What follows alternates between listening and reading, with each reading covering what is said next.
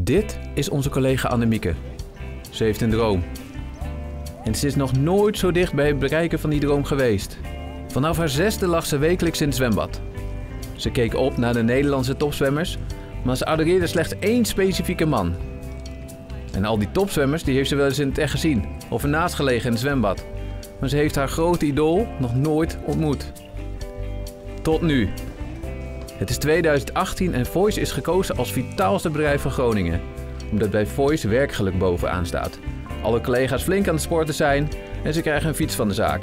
En ga zo maar door. Maar dat is eigenlijk niet belangrijk. Als Voice wordt gekozen tot vitaalste bedrijf van Nederland, dan is degene die de prijs uitreikt op het podium de man, de droom, het idool. Pieter van den Hogeband. Gun Annemieke die ontmoeting met drie kussen met haar Pieter.